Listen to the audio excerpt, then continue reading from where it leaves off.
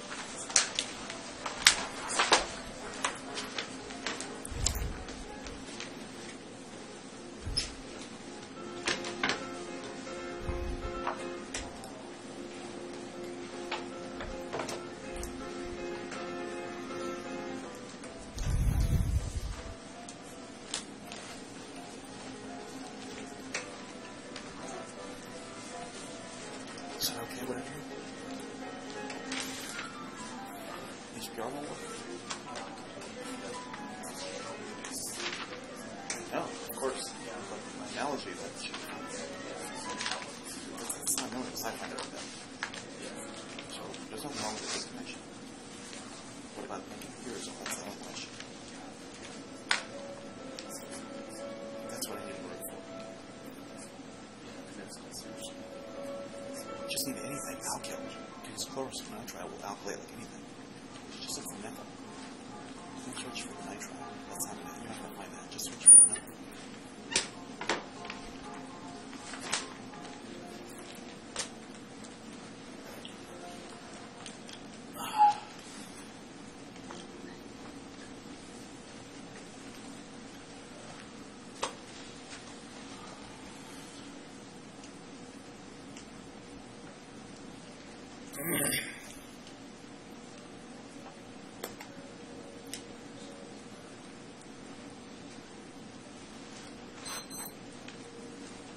can we put the front page of the handout?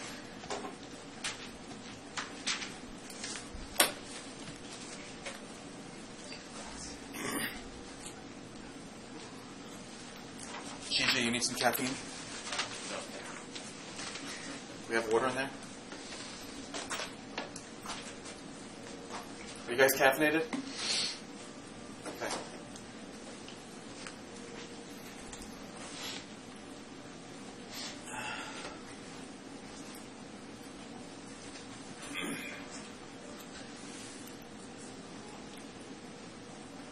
So it's uh, Tucker and Jess's show today, right? Yeah. Why? You, why? You, that's your. That you guys are the Diazine team, right?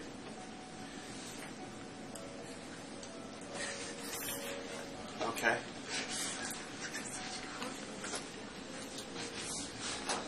An over enthusiastic bunch.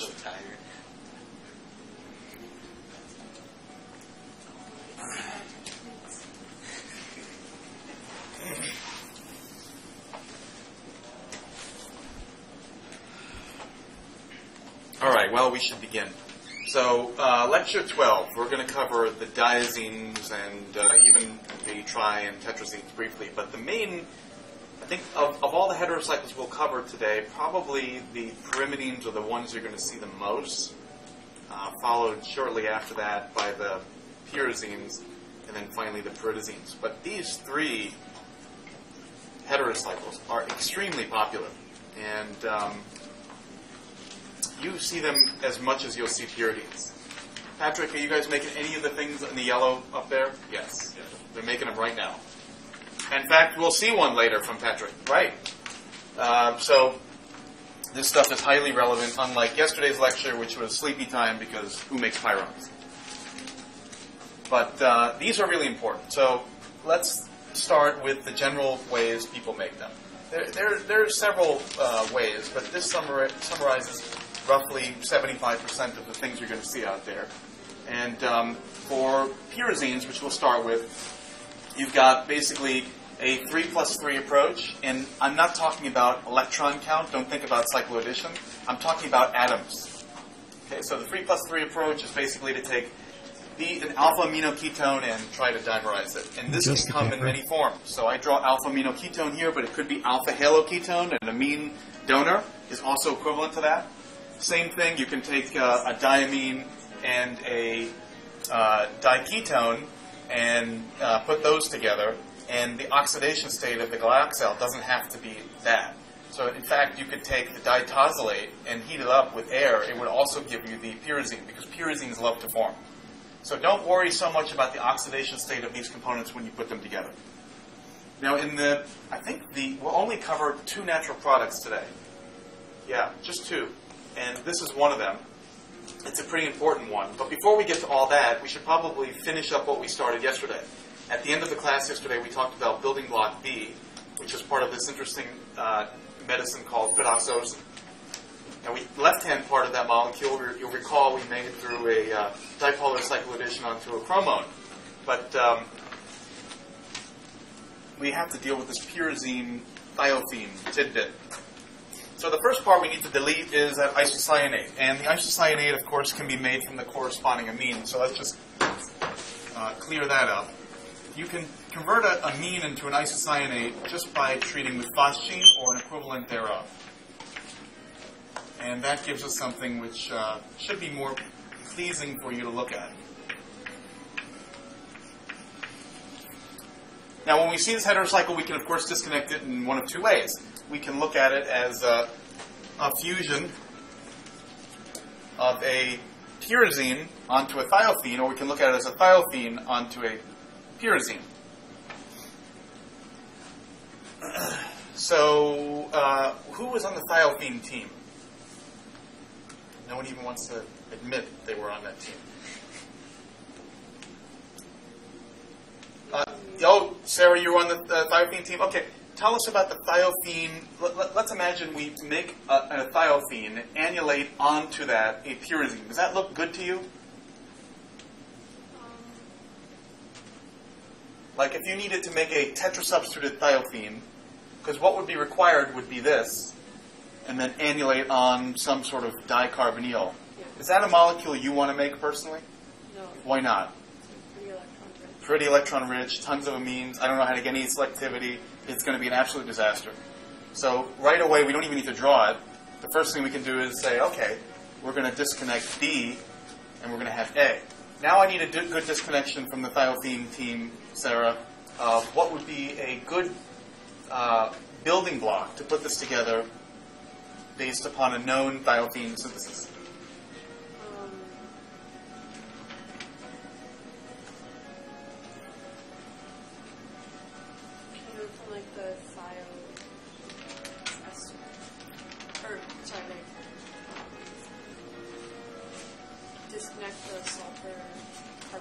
Wonderful, perfect. And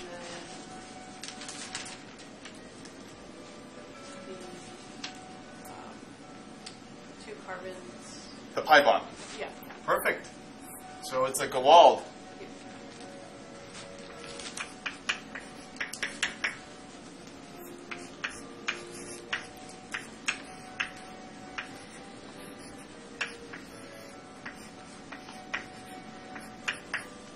Anytime we see a carbon like that with an NH2 attached, remember that's a signaling element for nitrile.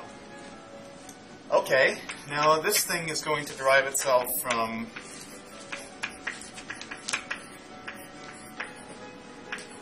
the amino compound via a Sandmeyer.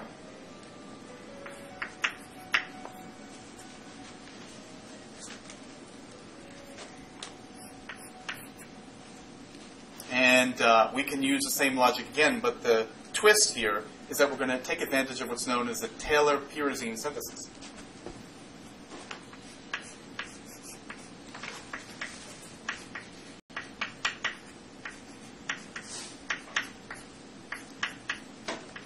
And the logic of this will become clear in just a moment. And then when we disconnect this using the exact same thing we just learned up above, and recalling that carbons with an NH2 on them often can be traced back to a nitrile, we end up with uh, simple starting materials.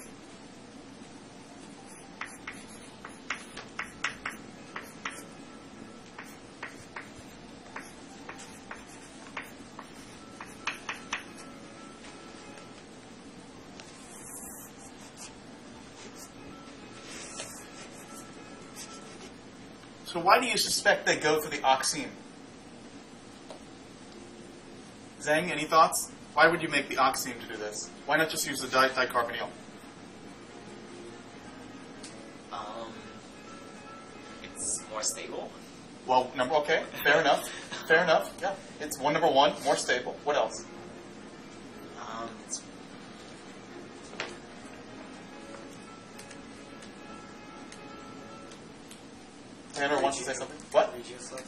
Regioselectivity is preordained. Exactly. You know this is going to be the more electrophilic site, and so that amine is going to go there, rather than if this was an aldehyde, you would have to switch it over. Get the opposite regiochemistry. Perfect. So Zhang is right. These are stable. Tanner is right. This ensures your regioselectivity. Then you just simply reduce that, Sandmeyer, and this is known as the Taylor pyrazine synthesis. There are a lot of, of these, but this is sort of um, falls into the same category you see up there. So rather than recite to you the 100,000 pyrazine syntheses that exist out there, name reactions, you, you could predict it from the general outline above. Questions? So that finishes lecture 11. Okay, let's get back to 12. So the first natural product of the two we'll talk about today is, I think, you know, it's a flagship for pyrazine. If you take a look at the front page of your handout, I, I've spared you the drama of writing out the entire structure. It's a beast. And if you look here, the key to remember is that the spinach on the left is not the same as the spinach on the right. And that means you need some way of retrospectively bringing these things together. You can't just have a homodimerization or you're not going to get the natural product. So you have to have two components that are programmed, pre-programmed to react only with each other and not with themselves.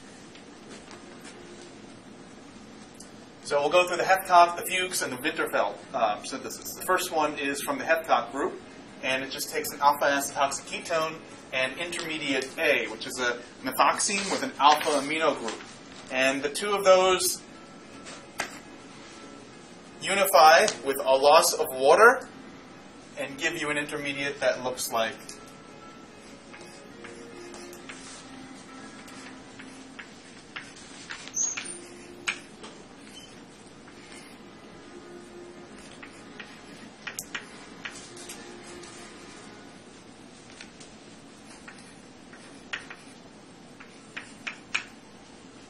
That looks like that. Now you can imagine the way I've, I've drawn it, they're sort of tantalizingly close to simply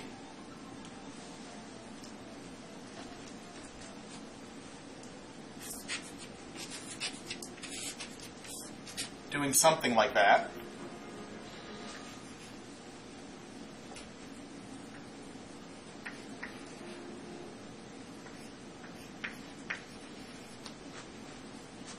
Which, after loss of methanol,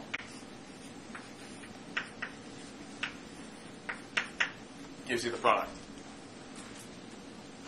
Now, you can draw other mechanisms. You say, hey, Phil, what about if it uh, eliminates the other way, or it uh, dehydrates completely, and then it does some sort of electrocyclic closure? Perhaps, but this is one of those degenerate mechanisms. There's many ways using this logic to get to this product, and that's why Fuchs and Winterfeldt pretty much followed Heathcock's lead here and designed slightly different monomers for the same type of union. So problem of the day number one requires that Vince help us uh, understand how intermediate A can be brought to bear with this alpha azido ketone to give the exact same product again. So you can either take the iPad or you can tell me what to do. It's your choice. And I would think this is the same mechanism. Oh, it's the same? Oh, okay. All right.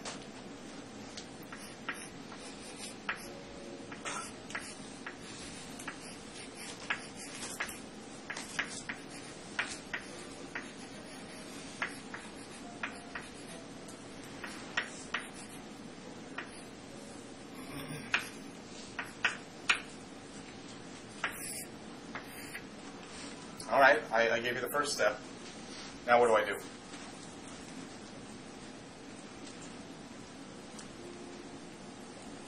Um, so deprotonate at that same position that you had just above.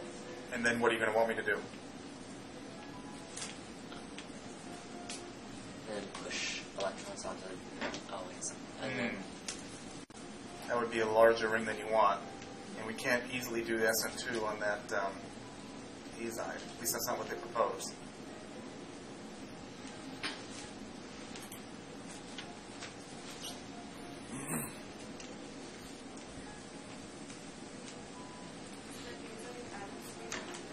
Can't hear you. Somebody So speaking? Oh, does the azide add What is Elena saying? I can't hear you. does the azide add into the NO2? To the oxime?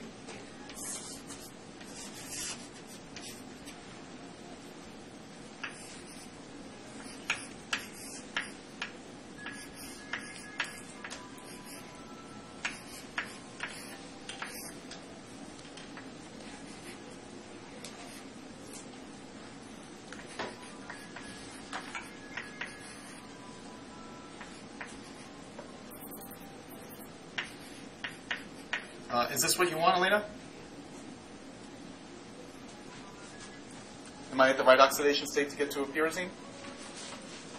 Yes, I am. Get rid of that. Get rid of that.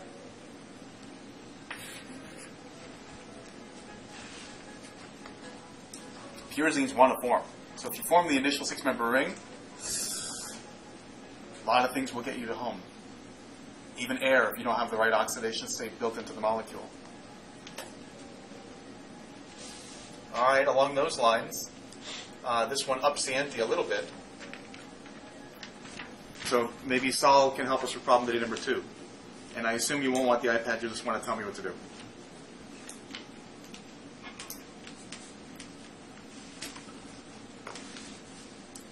That's a weird one, isn't it? Because there's not really um, too obvious of a electrophile there. Like, I don't see the electrophile. Do you? No. Yeah, that's part of the problem. Hmm. So maybe the trick for this one will be do something first to make an electrophile. Take your time. And if anybody else has, then you can chime in.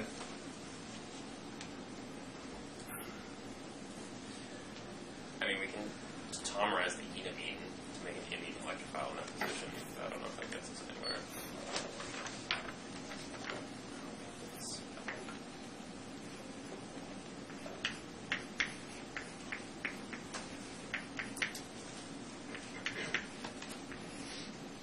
All right, there's your, I give you your tautomeric form there for. And then if the internal nitrogen of the azide adds into that imine in a very similar fashion, Hmm. I guess. Not that, I mean, azide, azides don't just add in intermolecularly like that. This is a special one, the one that Elena solved. Um, it's intramolecular, but intermolecular, hmm, unlikely. And actually, it's far more likely that if this imine tautomer is around for as long as you desire it, I would just have that added. Sure. And then your whole plan of getting a heterodimer is done. So the, the key of the ceph- cephalostatin syntheses is having the pre-programmed monomers that do not react with themselves under any circumstances.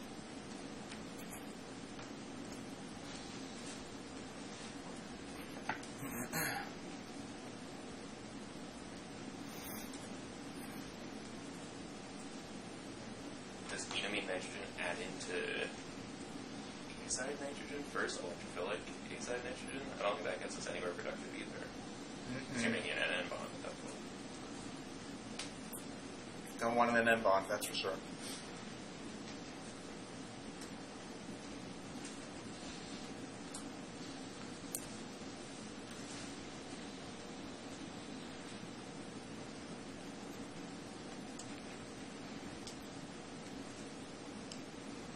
Is there a tautomer of vinyl azide? Aha! A tautomer, Okay. You're getting close.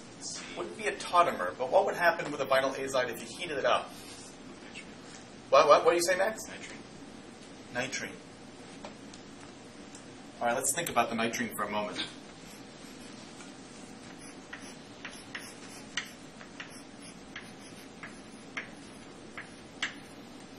What does that do?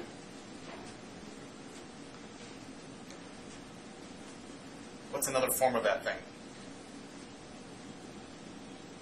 It would like to be pseudo-aminium. You can think of a pseudoaminium, but if, if it's easier for you to just draw it as that, and we add in here, this can then come back here, can't it?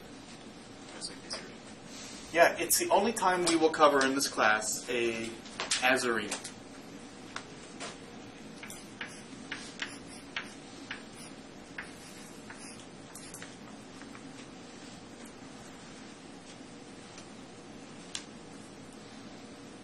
Looks doesn't it?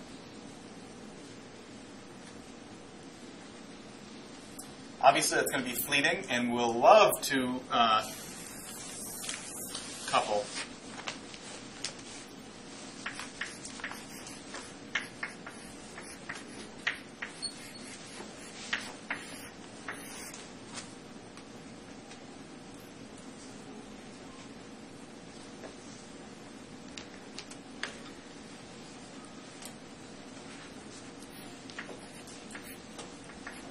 Give this.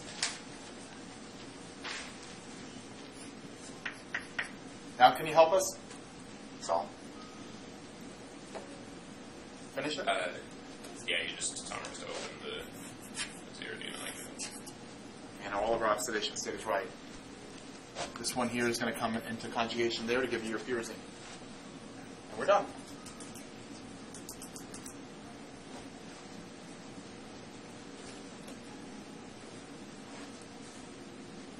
Any questions? That's that. That is almost done with pyrazines before we get to the benzanulated ones. Uh, are a great source of pyrazine. We, we've used this in our lab.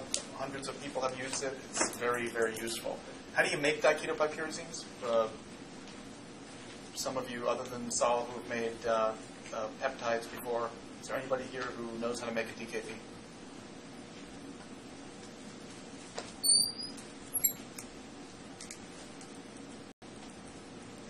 Tucker? Well, yeah, that sounds good. Peptide coupling sounds good. So what most people do is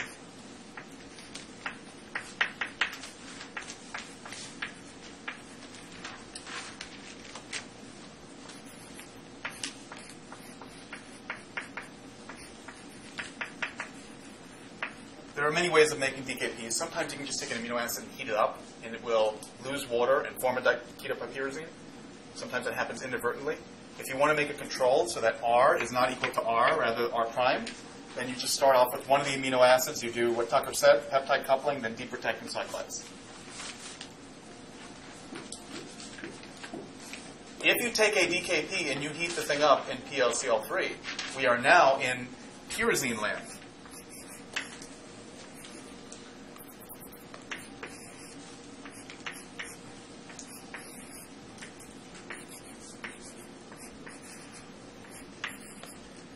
You can imagine I can make some really wacky derivatives here. So I can take all, I can take, you know, there's a trillion billion amino acids that you can make or buy. You can make the DKP, you can POCl3 it, and now you've got these two rather bizarre and exotic groups here, and you can then Suzuki or Buchwald your way to analog happiness. A lot of people do that. That summarizes, I don't know, 1,000 JMed Chem papers. Questions? Okay, if you turn to the front page of your handout, uh, it's on here somewhere. You've got a varenicline. Here it is. You remember we covered uh, varenicline in a prior context. I think it was in the lecture where we covered pyridines.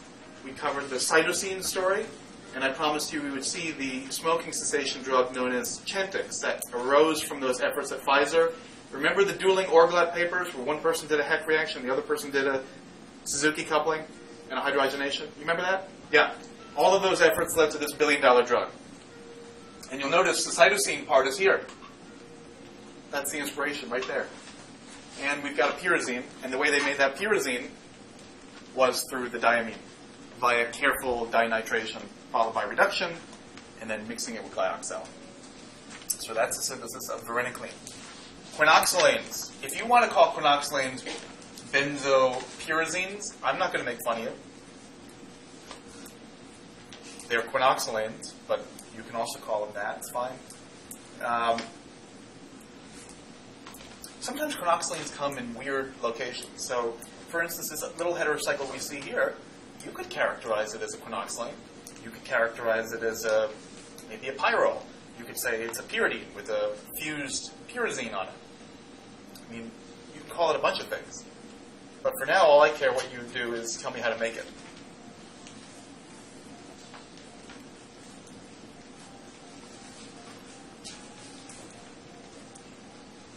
So when you look at this molecule, you have any insights as to where we should start? You could use aromaticity as a guide. Um, it's really up to you. Several ways to break this down, but really only one that's truly logical. Steve, any thoughts on there? I'd cut the bond at the two position, the pyridine and the amide bond. Uh, no, other one. Yeah.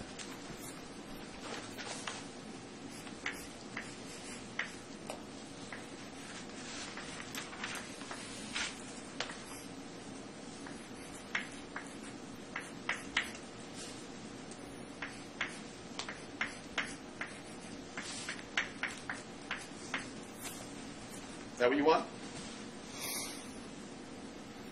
That's pretty good. Any other takers? There's other ways of doing this.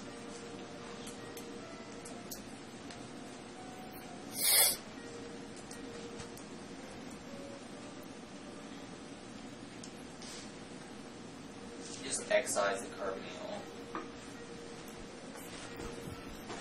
Have it to chiral pyridine.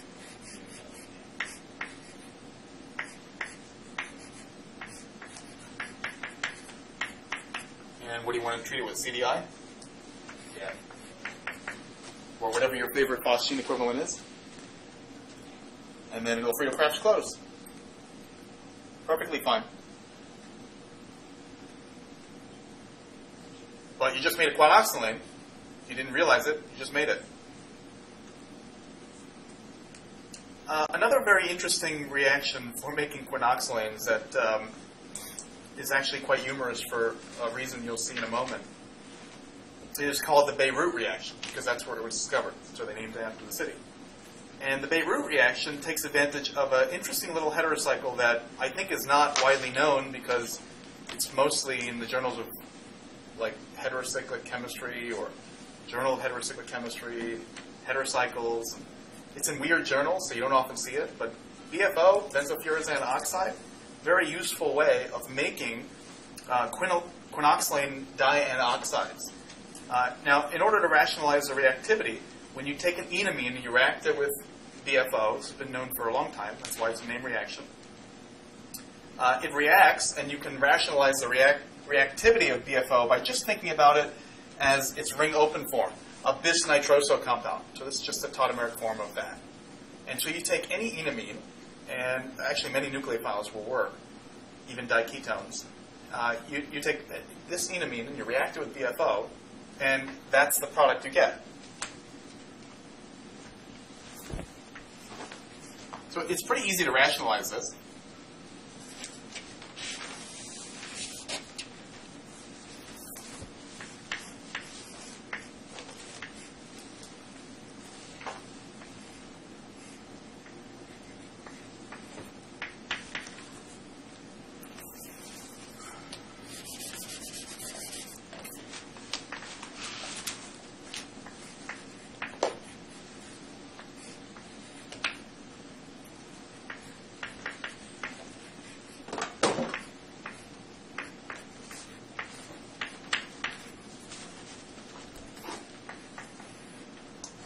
So we go through that intermediate. And um,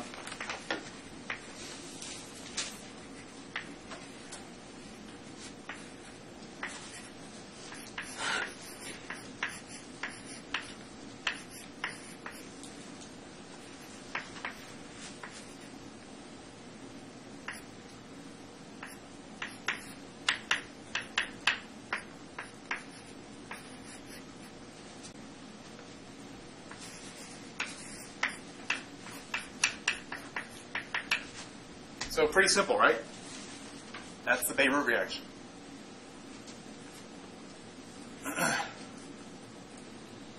So let's fast forward 30 years to this paper that came out in Nature last year. And uh, I need you now to, now that you know what the Beirut reaction is, tell us what the product is here. Well, I'll give you a second to think about it, and then I'll, I'll need to get someone's help for the step one.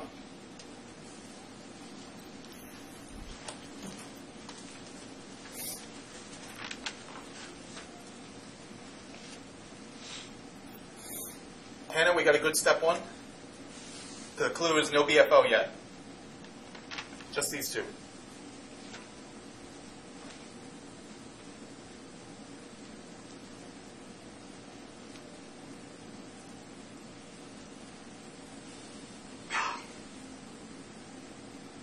Elena? Um, well, your, your basic, Can't hear you, sorry. so basic you're talking about is going to be added. You want to? Oh, that sounds good. So that's it.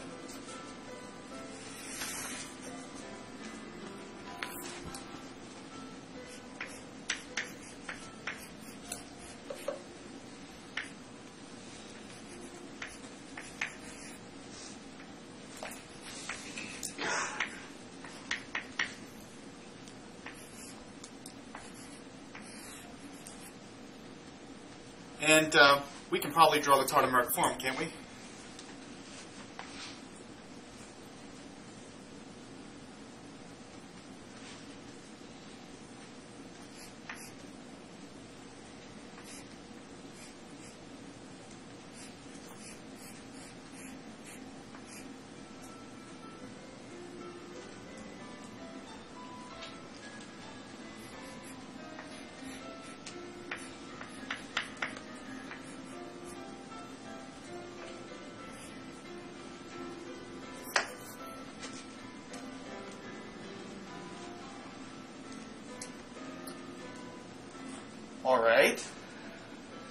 Bring BFO in.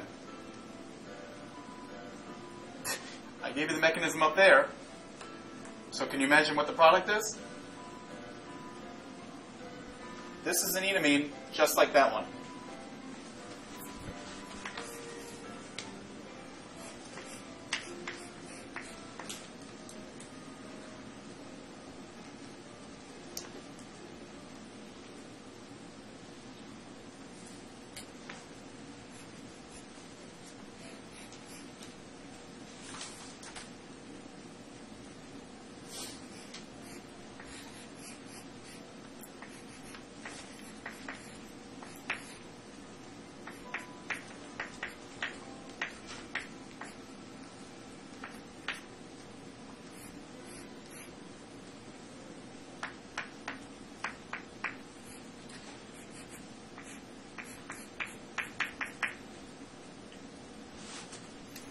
That product surprising to you, based on the Beirut reaction, what I just showed you?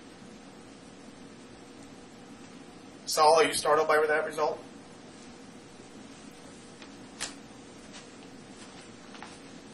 Chang, startled?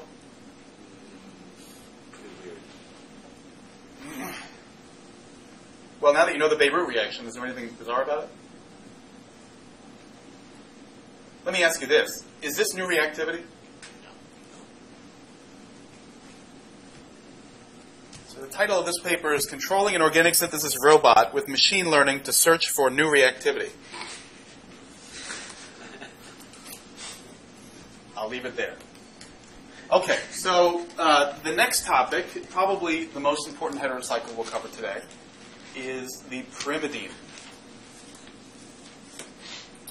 Pyrimidine's super duper important, and they are super fun to make. These are the funnest heterocycles. And you see them all the time. And you often have to make them. So, Patrick, have you made any pyrimidines yet? He's made them. So, remember, I asked pyridines. He's like, nope, never made a pyridine. But he has made pyrimidines. So, these are the ones on the spectrum that you actually have to make. You can't just buy everything. All right, let's summarize 10,000 papers in the next couple minutes. So, the most common way of making pyrimidines, the way that you're going to almost always think about them, is the 3 plus 3 approach, the tr- so-called Traube route. And the Traube route involves taking a dicarbonyl and some sort of amidine or guanidine type of compound. And you just put them together.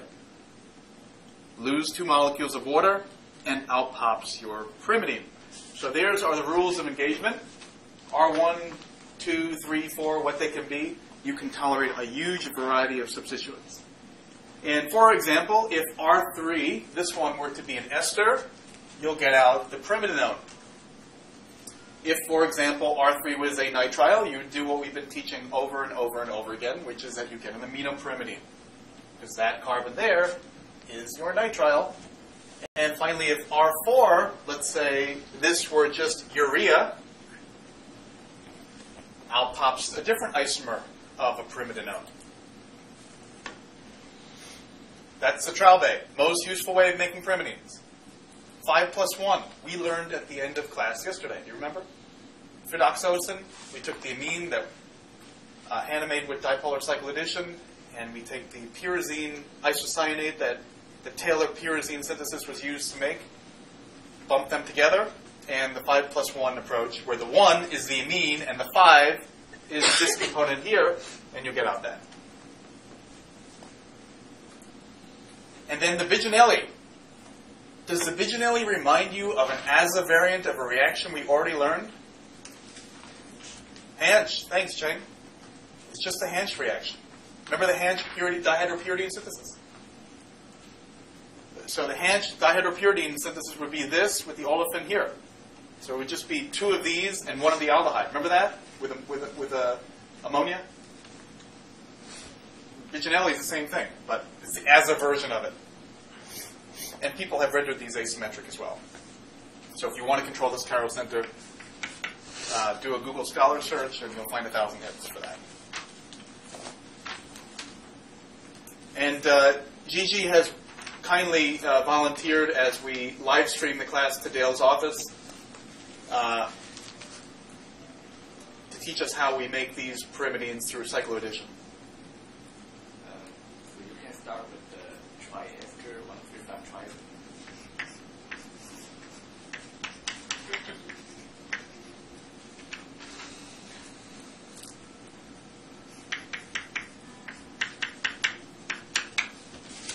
And the dienophile is the, uh, is the topmer of the atom, the atom. Brilliant. And And the form that reacts of this amidine is that. Silly question, Gigi. How do you make amidines? um, uh, you can use just treat just treat with treat the nitrile with the ammonium. Yep. The hydrochloride. Perfect. We'll need that. Remember that. There, there's a lot of things you can do with nitriles, and you're going to need those things. So you can add to a nitrile. If it doesn't react well, you can first turn it into an iminoyl chloride. So you can take a nitrile, treat with dry HCl, and convert to an iminoyl chloride. And you can then add ammonia. It'll give you the amidine. If it's reactive enough, you can take the nitrile by itself, add ammonia. It'll give you the amidine. You can add hydroxylamine to give you an amidoxime. You can add hydrazine to give you an amidrazone. Those components are really useful for making heterocycles. And we will see them again in a further a future lecture. Great. Let's take a look at some two miscellaneous methods before we get into the all-important case studies. The first one is problem of the day number three, which perhaps uh, as the president of the Diazine Club, perhaps Jess can help us out.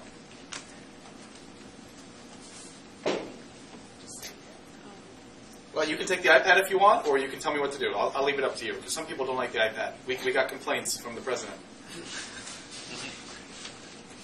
So, um, Yeah, Pete called me to his office and said, stop harassing the students with that old iPad. So why don't you buy us a new iPad? Can't afford it right now. What do you say, Jeff? um, so first it forms um, the ketone and the anhydride forms the mixed anhydride, while the the nitrogen on the the nitrogen on the acetonitrile attacks the carbon.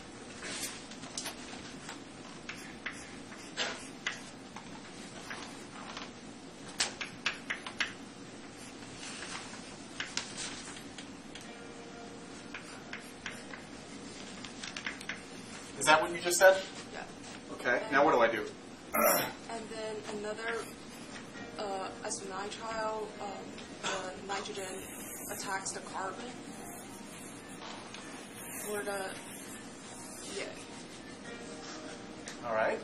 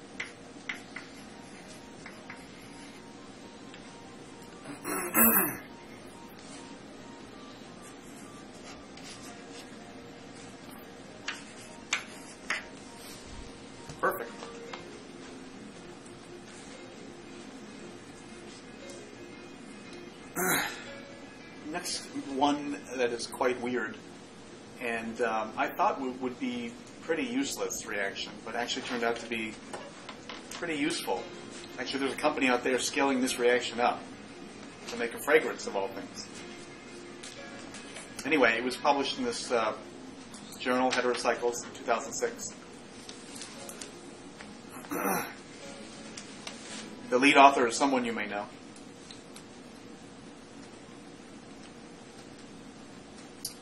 But uh, we need some help.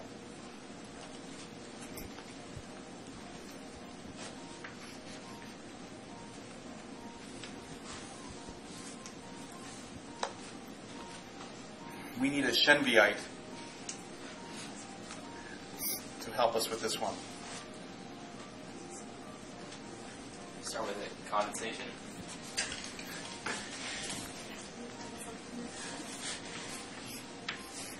That phrase can be used quite often in heterocycles. Okay.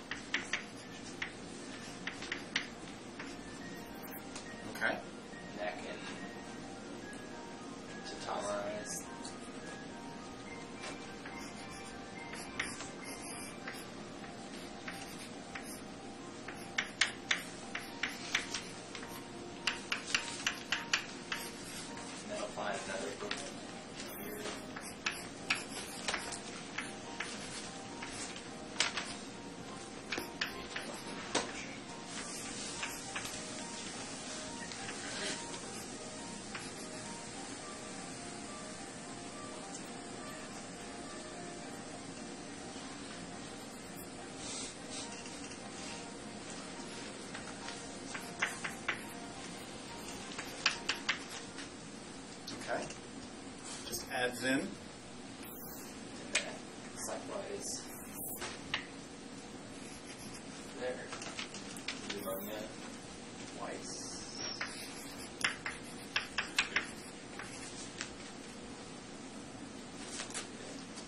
That's it.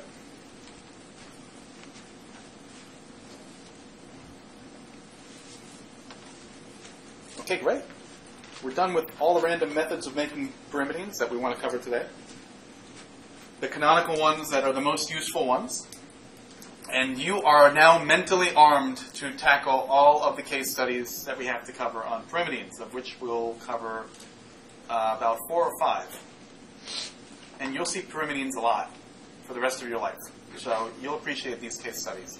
So for our first one, let's go to the front page of the handout. LY two three one five one four. Where is it? There it is. Right here.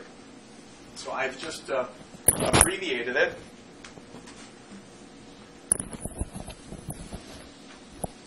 As AR instead of showing that entire AR there. And we have a choice. We can do A or B. Which one are we going to disconnect? Perhaps the Floridians want to help us with this one. Uh, any thoughts on which one to disconnect? I have two arrows there, so you pretty much know wrong answer. But which one do you want to do?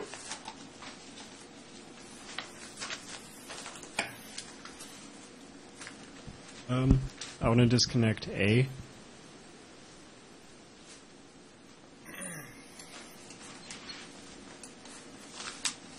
Leaving us with a pyrrole in its wake. Is that what you're saying? Uh, yes.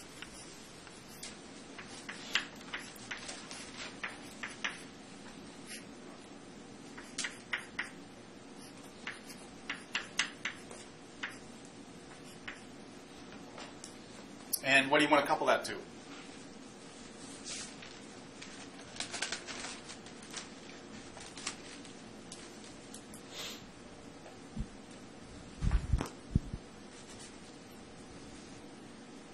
You're, you're clearly using a 3 plus 3 disconnection, right, Alex?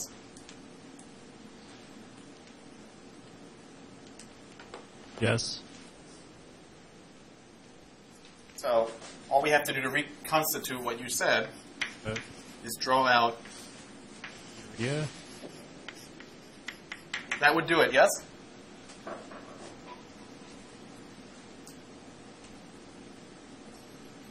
Yeah, that, that would work. Why is that thiomethyl? Thiomethyl. You need some leaving group because uh, you know you need this amine to add into something. And the amine that's here and here are here and here.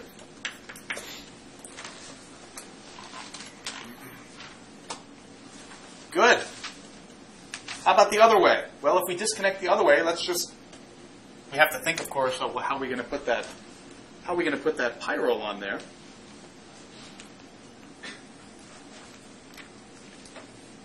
Any suggestions for how we might emulate that pyrrole on there? We would need something like this.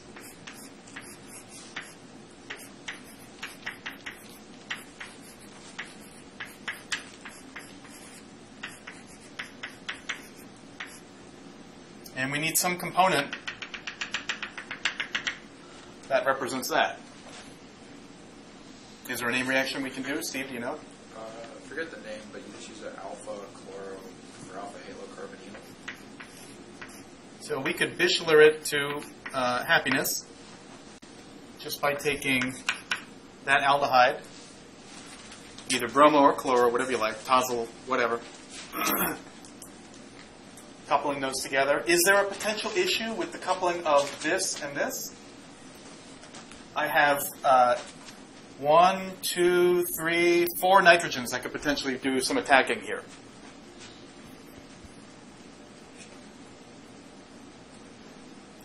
Use the N acyl and you disconnect the CC double bond with B. Can you deprotonate? Uh, say that again, Tanner. You disconnect the CC double bond of B, Uh, uh, oh, of here? yeah. Well, you won't need to do that. The Bischler will allow you, if we get the, if we can get the regioselectivity right, this will form the imine, and then you'll get the, the, then the enamine will add in, and the standard Bischler you can close it. The problem that we need to address here is we have all these nitrogens. Why is this going to be the one that could react? We need to go back to lecture number one for this one. Lucas, you want to give us your thoughts on the that uh, this pyrimidine puzzle? Why does the amine on the right? Why would it be more reactive, or maybe it's not? That this might be the end of this disconnection. I want to go that way, but I'm not sure why. Okay, we're fine with that answer. So tell me this, Lucas. Uh, what kind of nitrogen is this? It's a pyridine nitrogen, and um, so this amine here is kind of. If we just stare at this, this amine here looks like what kind of like two amino purity, right? Okay, now let's look at this one. What kind of nitrogen is this when I look at it from this bond? Pyrrole-like.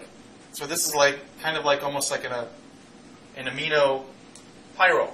So it's splitting hairs because you could mention, well, this is a vinylogous system, but based on that rough analysis, you would say this one is kind of like a two amino pyridine. It's got this other one here, which you can draw in its tautomeric form, so it's like guanidine.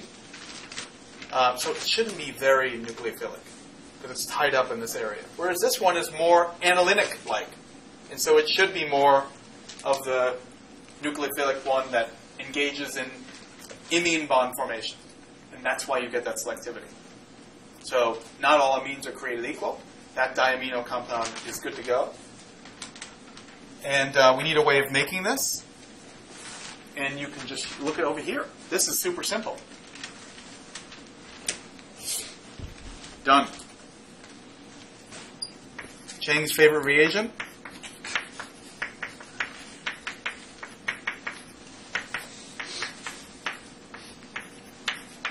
Guanidine plus cyanoacetate. What do you say, Steve? Uh, I have a question. Yeah. So when we think about like pyridine-like nitrogens, Yeah. a lot of times they behave as nucleophiles, right?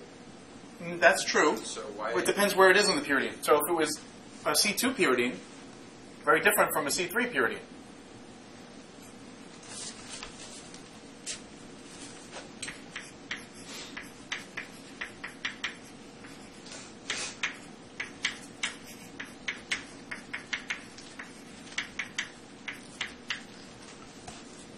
Aniline, amide.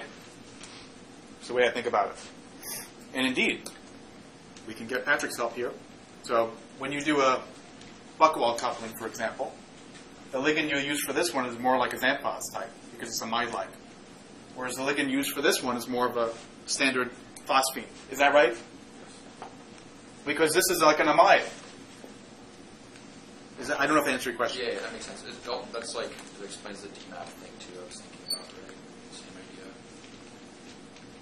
Same for C4. Mhm. Okay, uh, we, we still have Alex's disconnection over in Florida, and it's not, uh, you know, I don't think it's bad to make this disconnection, and you certainly could come up with a, a pyrrole synthesis that would that would get you there eventually. But I guess the question for all of you is, if you do this exercise and you break up A and B, Alex, are you still favoring the pyrrole?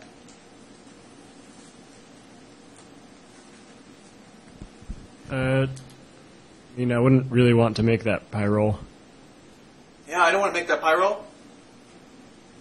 And from a diversity standpoint, probably you're going to want to do a lot of just uh, modifications of this portion here. There's not much to change here. Right? So this approach allows you to take the diamino pyrimidinone and couple it with an array of of electrophiles and get you the product. Whereas that pyrrole needs to be made special every time. And it's probably going to be at least three steps to make. Whereas this, by the way, is commercial, but if you couldn't make it, you could make it easily. And um, those you'll have to make. Not fairly straightforward. So this exercise of doing the A and B saves you a lot of time because you don't need to go to SciFinder until you have. I mean, I, I think if you were to do this in the real world, the only thing you'd be SciFindering is how do I prepare these really quick. You wouldn't need to SciFinder that. But this one, you still need to SciFinder this pyrrole, probably, come up with a bunch of disconnections for that one, and it's a little hairier. Questions? Okay, great. How about this next one? U101033. There is no wrong answer. So Max? Where's Max 2? We lost Max 2. Ah, other vaccine.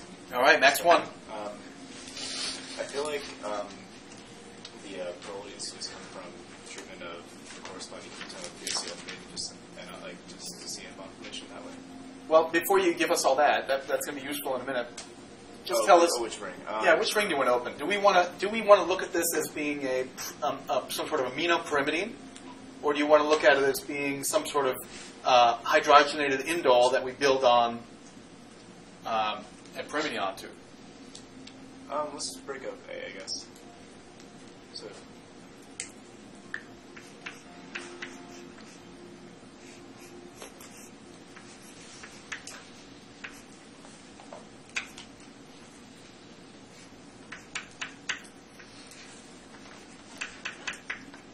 That.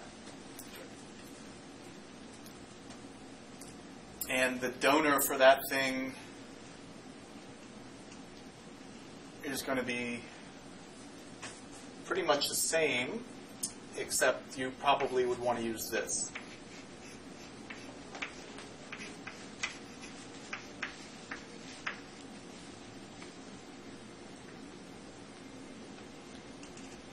Mm, probably wouldn't want to do that either because we don't know which is one is going to leave. So you're probably going to have to use the exact same building block that we used for Alex. And maybe this one. And that would give you the product with S-methyl here, and it would give you OH there. You would then add in your POCl3, you would add in stepwise. Okay? Now we got to make that thing. I think probably disconnect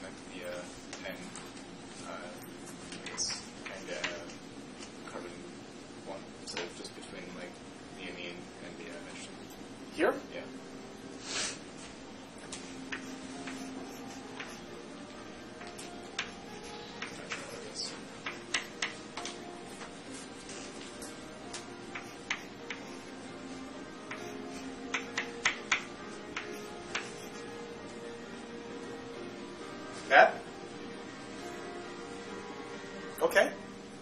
Super. How about the other disconnection? There's no wrong answer. We just have to evaluate which one do you want to go to the hood and do. So if we go the other way,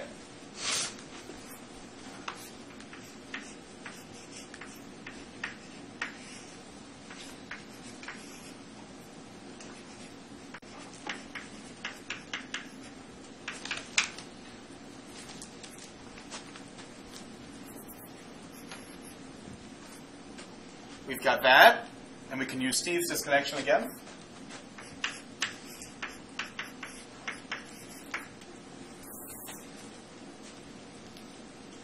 And where do you suspect this thing will come from? Two, four, six. Oh, yes, 246. We love 246.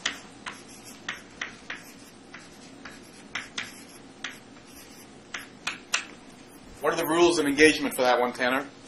I'm going to add an amine in. Which one does it go first? It's gonna go six. I guess six is. One. Yeah, that one. Then, Uh,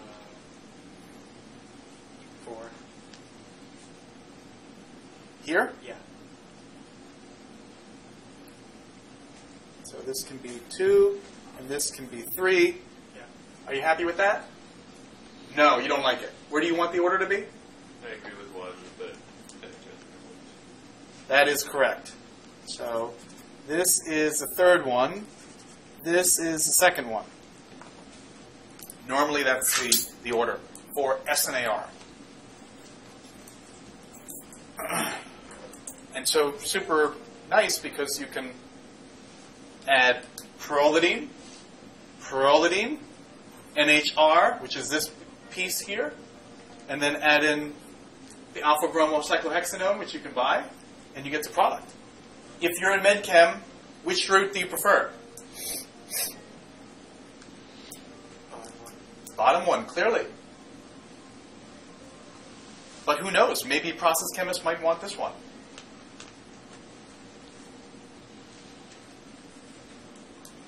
Being able to put both of those disconnections with lightning speed, that's uh, quite some value.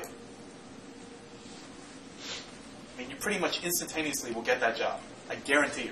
They put that on the board, you show them this, their teeth will fall out. Six figure job just because you put this on the board. It's pretty good. All right, let's look at the next one CGP 59326. This is a good one.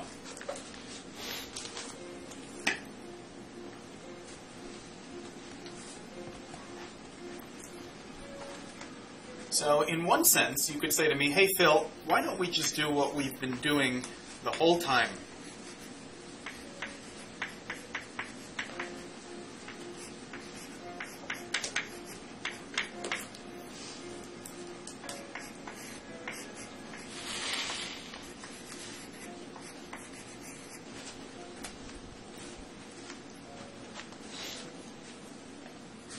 That would be if we took a pyrimidine and we built up a pyrrole. What's the potential stumbling block of this approach?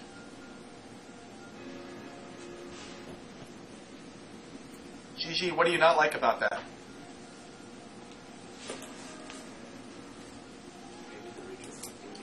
Yeah, regioselectivity is going to be a problem. Definitely could be an issue. So let's took, take a look at the other way.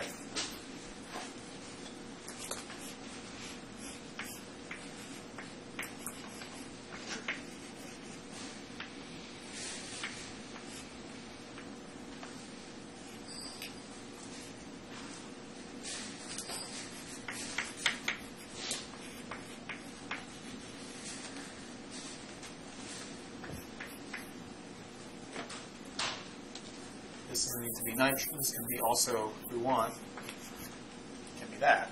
Probably better to show it as that.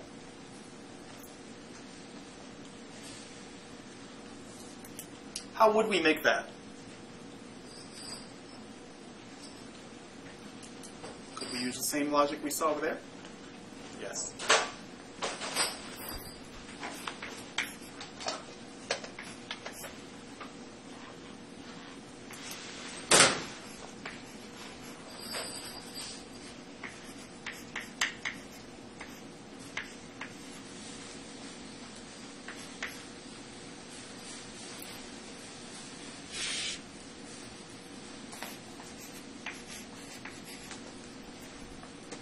Good, doesn't it?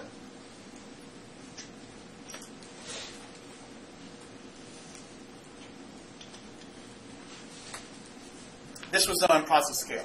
And the key problem was not making the pyrrole, it was actually making that alpha aminoketone and having the thing be stable to sit around.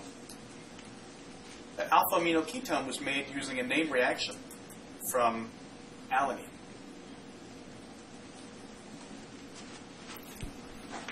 It's worth knowing just because its mechanism involves a heterocyclic intermediate.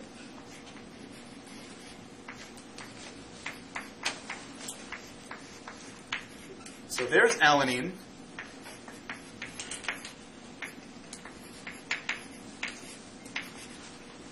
And if you take it with acetic anhydride, triethylamine, and heat, out pops that with an NHAc. So the first step of the Dakin-West reaction is obviously just going to be acetylation. And because we have a lot of acetic anhydride floating around there, we're going to get mixed anhydride.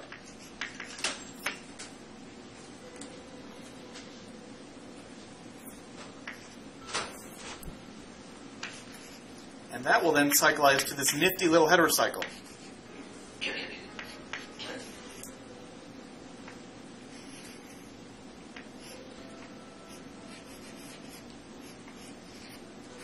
Oxazolone. And the oxazolone is super duper acidic.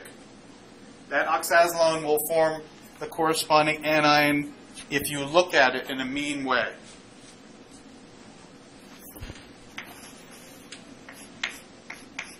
And it turns out there's a really good electrophile just floating around.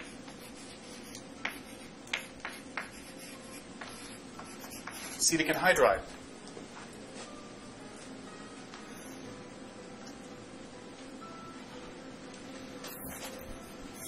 And after loss of CO2,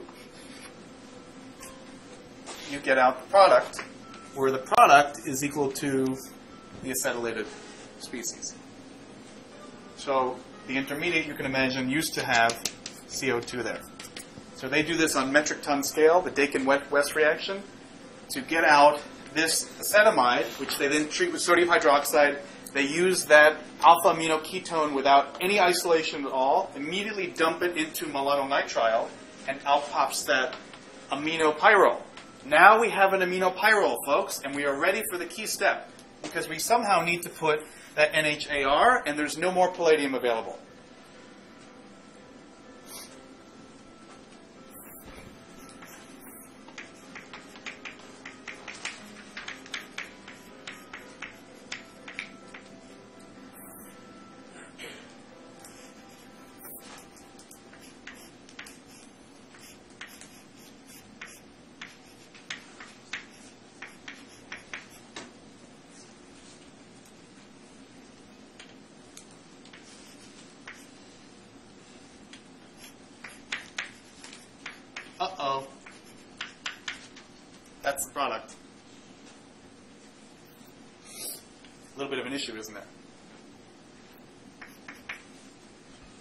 How should we rearrange that? Uh, just Dimroth. Dimroth. So if you heat this thing up in ethylene glycol,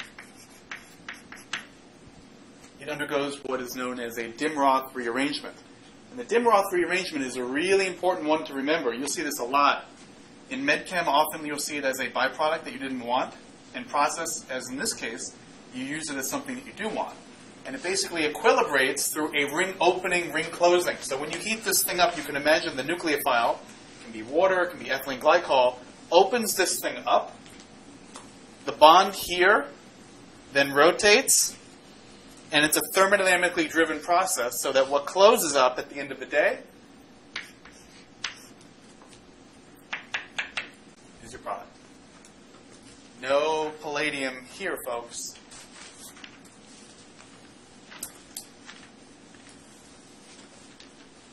questions. That was done on huge scale. Okay, no question. Oh, what do you say, Matt? So we'd get a substitution at the other nitrogen. Then you'd be in a bit of hurt. So, so if substitution here, yeah. Then it would all depend on relative PKAs and, and oh, you know so sterics and. So it's all like empirical. It's, it's all empirical. Yeah. It's all luck of the draw. Well, when you have a free NH and then a AR, then you're going to favor isomerized product.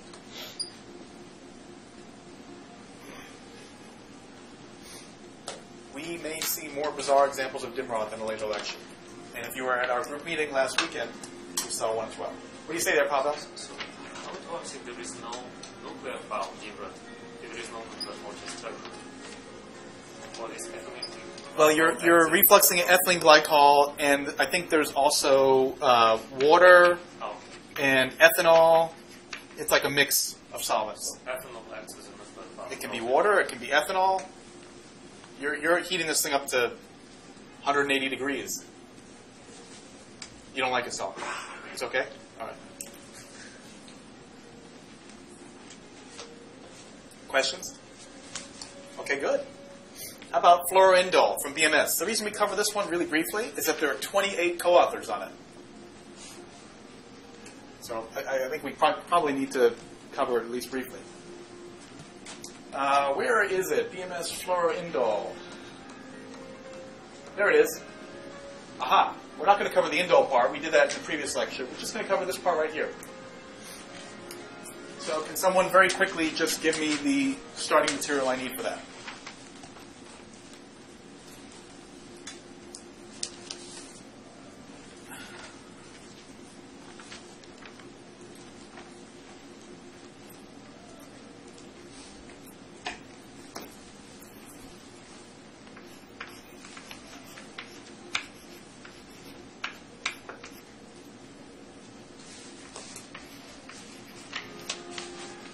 And uh, I need some substituents. That would be good.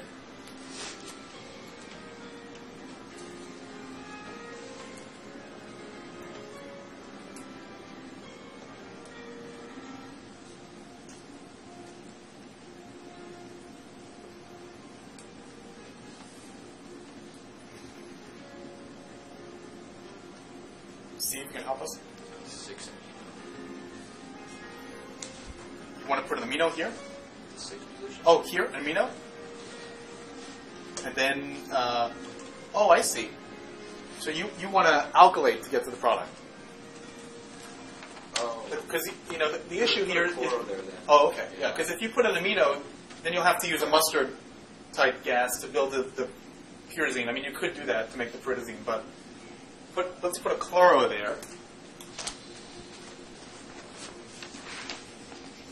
How do we make that? Uh, that looks like a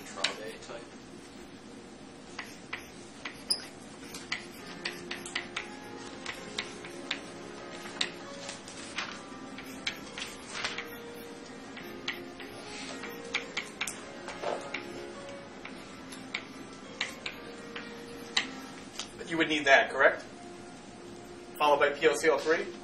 Well, it turns out they don't do that.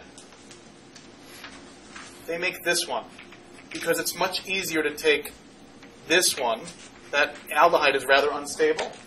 It's much easier to take the malonate with the methoxy in the middle, condense, add, and then burn off the other chloro. I mean, you needed 28 authors in this paper, so there was some thought involved.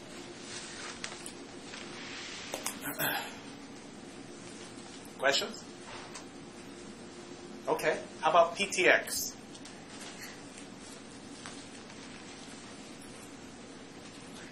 Clearly, a couple different destinations we can make, and uh, it's sort of up to you which way you want to go. We've got a pyridine, and we have it linked, or it could be a pyridine, but if you want to think of it as a quinoline, you could think of it as a quinoline too. Uh, connected to a diamino pyrimidine. So which way do we go? Well, there may be some of you who are really happy from the midterm and just want to make a pyridine. So let's think about that.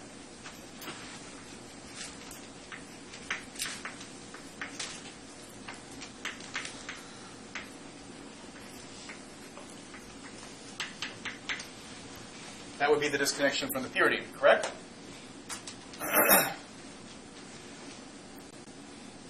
Dongmin, you want to make that purity? I mean, if you- you can pass as well.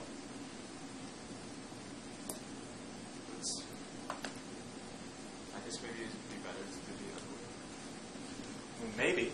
Let's see.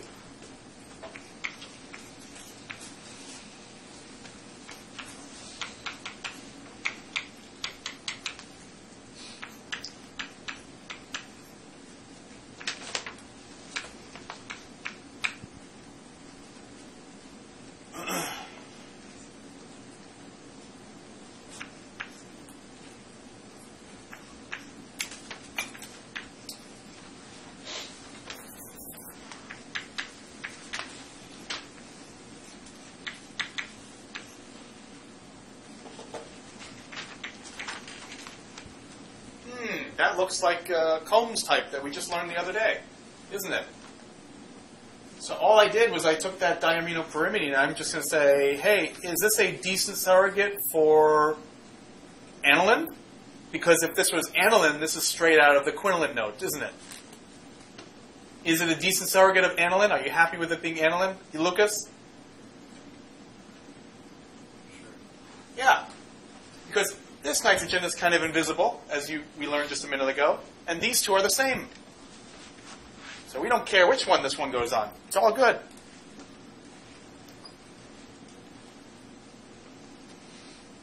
Now, if we're in desert island mode, and all you have is some coconuts, and you need to make that, can you give me the microsecond speed answer? Tanner, how do we make it? Uh, guanidine, Brilliant. and then whatever diamide. Yeah. Super. Questions? So before we get to pyrimidi- uh, pyridazines, we've got to cover this second natural product of the day and last one called variolin B. This is a really cool one. So let's think about some disconnections. I'll give you a minute. We're doing reasonable on time.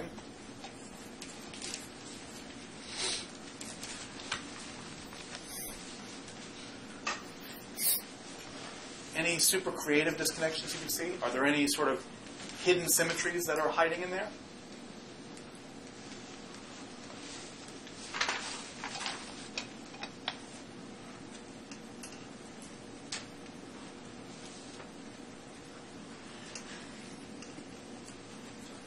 So if you break the B ring, Yeah, go ahead. B ring. the bottom bond of it, then it becomes a symmetrical compound. Aha!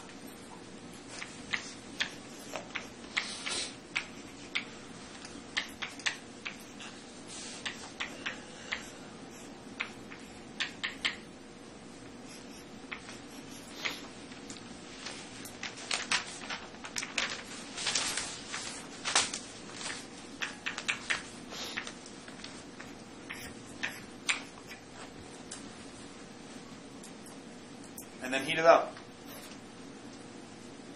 And that comes from a methylated pyrimidine, adding twice to an ester. You like that, Saul? That's probably the best way to make it. But there are other ways. So let's imagine we take a look at this and say, you know what? Let's do an immediate disconnection of the C ring.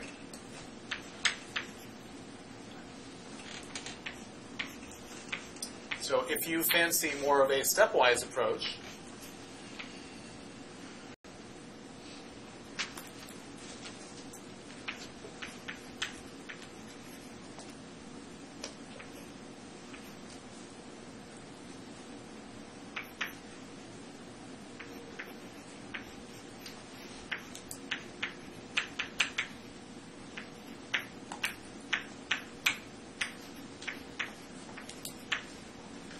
also view it as arising from that.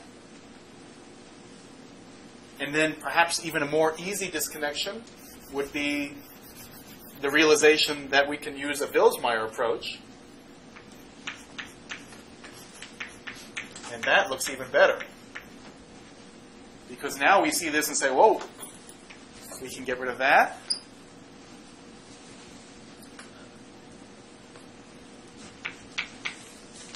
And the entire skeleton rapidly unravels.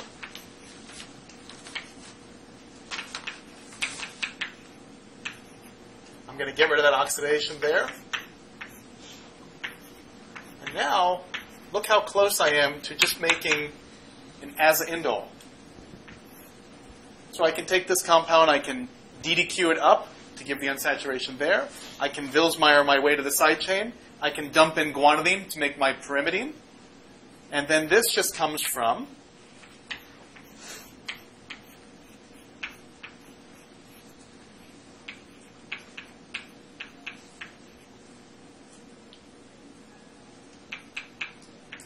the intramolecular addition of a carbodiimide.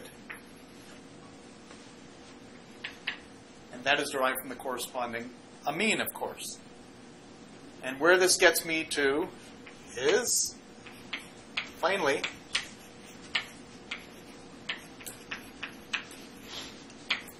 it's a much longer synthesis, but I think it has instructive purposes. An azaindole, which can easily be made through Hemetsberger.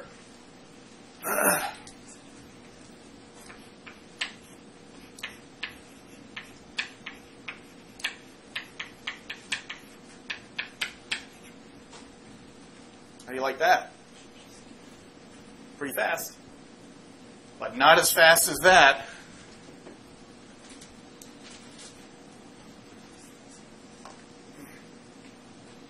That's variolin. Okay, in the final 20 minutes, we need to cover just a few more heterocycles. And we don't need much time for these because they're relatively straightforward. The pyridazines are quite similar logically to pyrroles, thiophenes, furans, because you're only going to be looking for, in most cases, a 1, 2, 3, 4 dicarbonyl, which is coupled with hydrazine to give you the product. The 2 plus 2 approach is more of a stepwise one where you would do a, some sort of aldol followed by then adding in hydrazine. But in almost all cases, when you make pyridazines or their benzannulated uh, uh, versions, either the phthalazines or the cinnolines, they are going to be made from diazo intermediates that can be derived from the corresponding aniline. For example, the famous von Richter cinnoline synthesis, which can start from either the methyl ketone or the acetylene, simply by taking these anilines that are derived from palladium couplings or Friedel-Crafts rearrangement or reactions with sodium nitrate to give you the diazo intermediate, and then that cyclizes to your cinnoline. Okay, so let's take a look at some strobilurin analogs uh, that uh, are part of a program that led to a billion dollar um, agrochemical agent. It was an insecticide uh, that DuPont sells. Really successful agrochemical. So this first one is an interesting one because it uses a starting material a lot of people forget exists.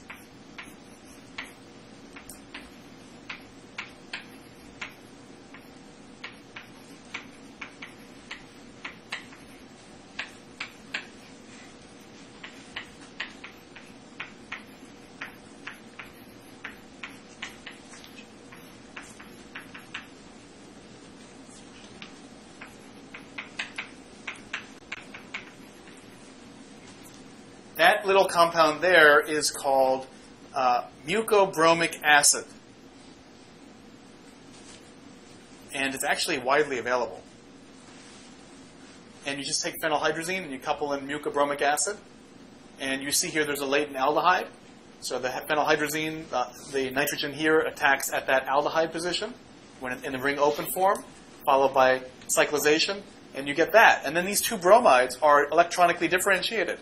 One of them you can add methoxide. The other one is ready for Suzuki couplings. Can't do Michael into this, but you surely can do Michael into that. So treat that with methoxide, cleanly get out that. Problem of the day number four is the second compound in this sort of DuPont program. Uh, another very interesting way to make um, a pyridazine type heterocycle. And uh, happily, uh,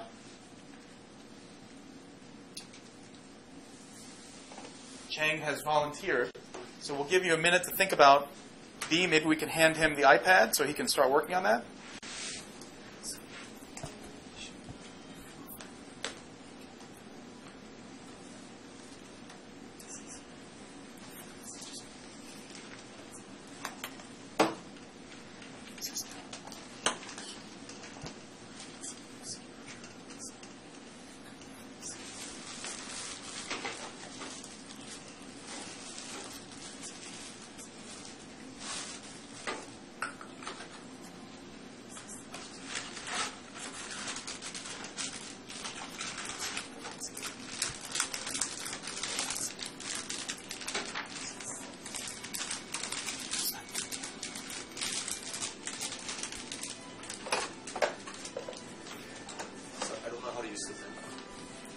Do we say here, Chang?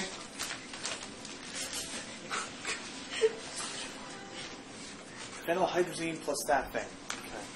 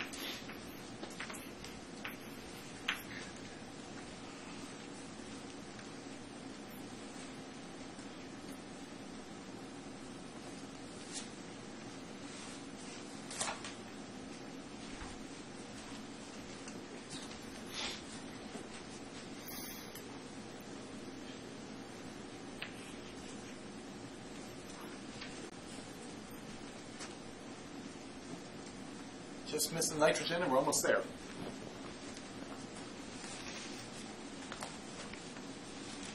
Okay. Now what do we do?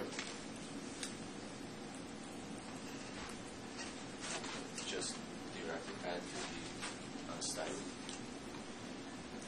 I don't know how to do that. Is what is this over here? Is that an arrow? Because if it's an arrow, that's good.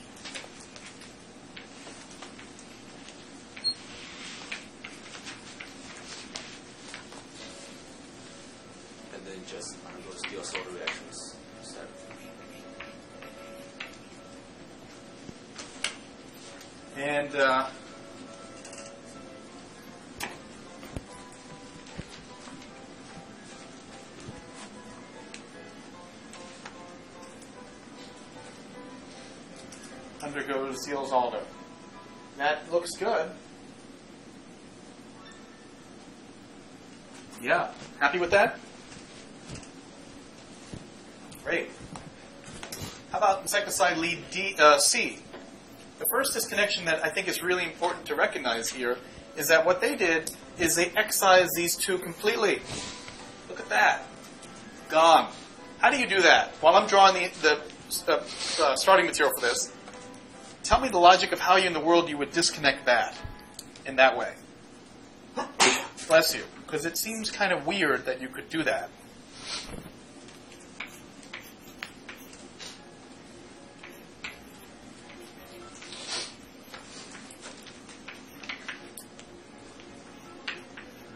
All right, you've had plenty of time to think.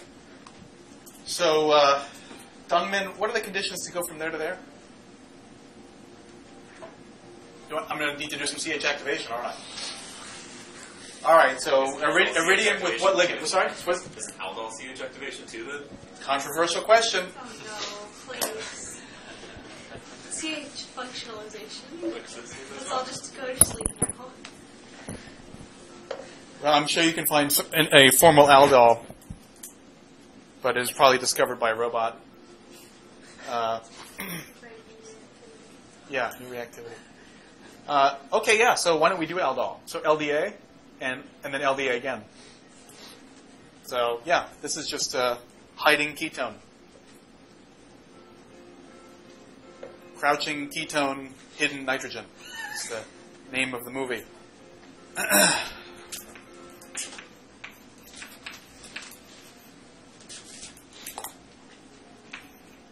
and uh, add your hydrazine in. That's how you get it.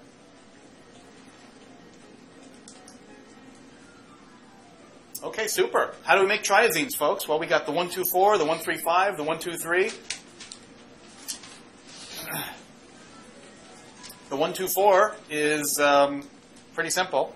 You take your a precursor, which we are going to see, I think, tomorrow, to make things like imidazoles. But if you take that precursor and instead of cyclizing it to make an oxazole or adding in ammonia to make a imidazole, if you add in hydrazine, guess what?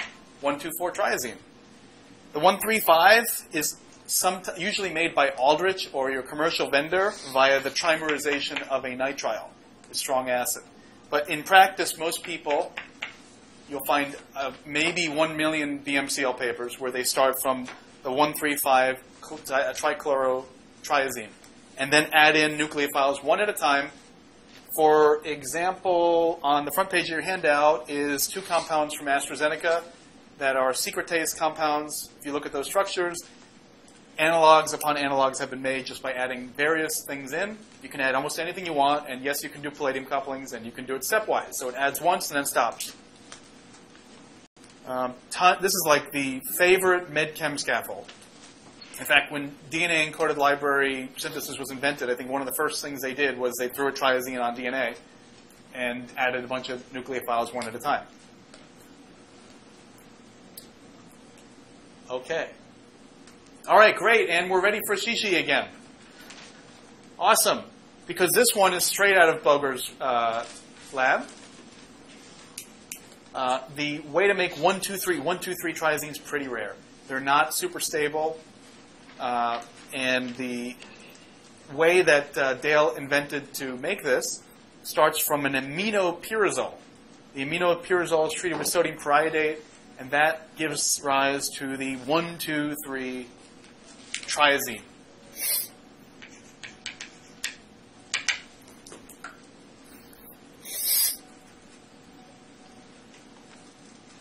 Any clues on how to make this thing? So it generates something like the nitrene equivalent with the oxidant.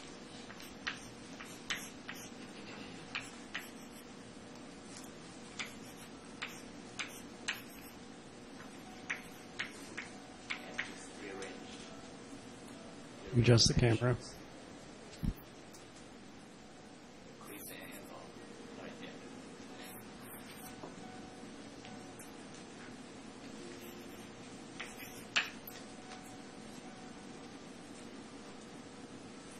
Pretty good.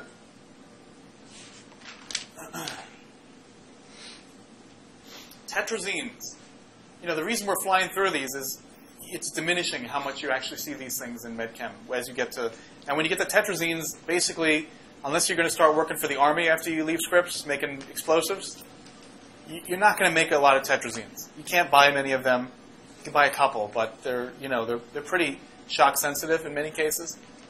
Um, so often people will uh, make them, for instance, from the nitrile or the acid or ester via a hydrazine reaction followed by oxidation, and those often, those condensations often go, not surprisingly, via that, which can then can be oxidized up. Or you can, yeah, usually by that after tautomerization. So double attack, tautomerization, and then oxidation will get you to your full tetrazine. Only one example I could find of uh, a tetrazine that would be medicinally relevant. It's for, I think it's still used for some types of brain cancers. It's a pretty useful compound uh, called Temodar. And uh, if I'm not mistaken, the, the, this is a problem of the day number six.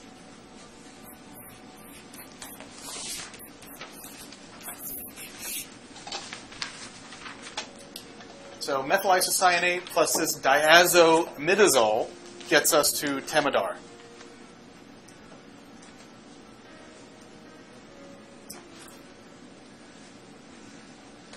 Max? Uh, do you do um, sort of inoculation to, on the uh, cyanide and then how do you amine that forms after reacting with the cyanide just add back into the uh, diazine part? So seeing that your chalk's in the other position, um, Uh, So, so it's where my chalk is. What do you want me to do? well, um, I was thinking uh, ring nitrogen actually adds first, or I guess you could push it from there and then really, yeah, sure. Yeah, all around, yeah, and then um, yeah, yeah, okay, sure. So still inoculation, and then that amine just adds back in to the um, the bond.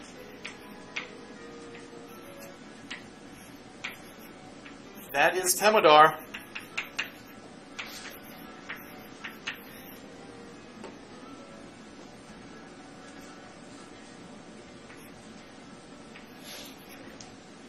Richter, this step. If you want a less dangerous approach, you can simply start off with this aminoimidazole, and uh, that will give you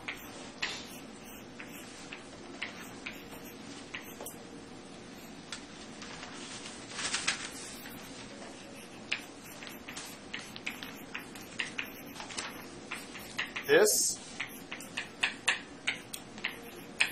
followed by NaNO2 to get your product.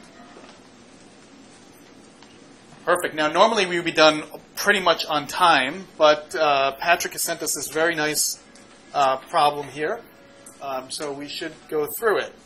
So there's two ways of looking at this, and now all of you are armed with the, with the knowledge of how to make a compound like this, except for the fact that we haven't learned how to make pyrazoles. But let's imagine we need to make a pyridazine, or sorry, pyrazine.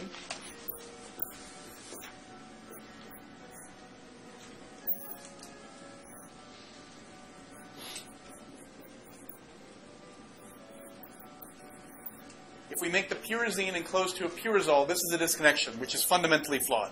This is a bad disconnection. Why? I don't know how to get regioselective N amination of a, of a pyrazine. It's going to be stymied by the fact that you've got these two necessary leaving groups. And then further making everything miserable is this sort of uh, acetic acid hanging off. So that disconnection looks pretty bad. But we did look, learn a disconnection back when we talked about uh, isoquinolines. I don't know if you all remember that. By the way, this is not known in SciFinder, but we don't need SciFinder. This is Scripps. Okay. So if you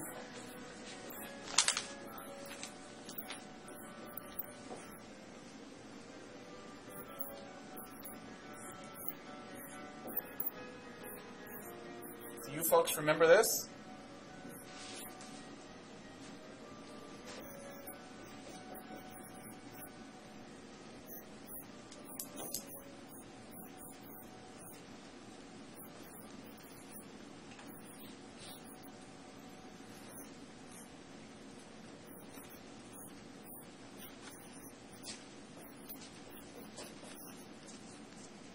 Straight out of one of the lectures. Remember this?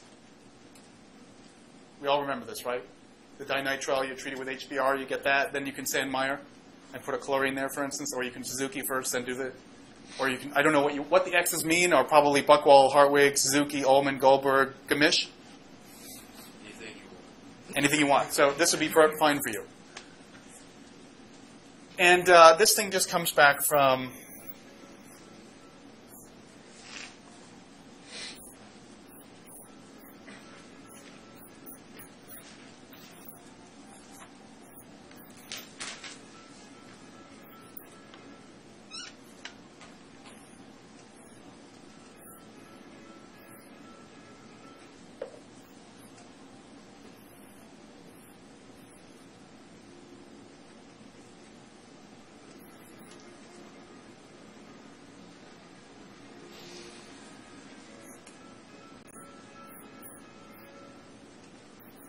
Couple options to make a pyrazole like that.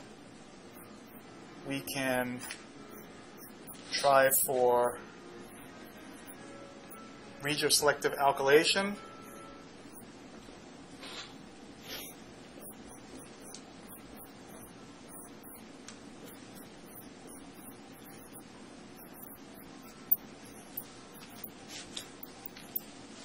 Or you can append an equivalent onto that, onto your hydrazine, and then uh, um, add it to this. And the TAs will send you a. Then we went to SciFinder. Once we identify this, just to give you conditions to get that. So we have a nice way of making this for you. And with this in hand, this cyclization is got to work. And the other disconnection makes no sense. So you're not going to be able to go from here to there. So the only viable one is start with a pyrazole, append on a um, pyrazine, although I would say append on an isoquinoline. Right? Steve? How do you control that cyclization? Well, just like we saw it already. We saw it already in the quinoline. This is a more reactive nitrile, so the HBr adds here, and then we saw it. We saw the exact same thing in the quinoline lecture, identical, except that instead of being a pyrazole, it was an aromatic ring. Remember?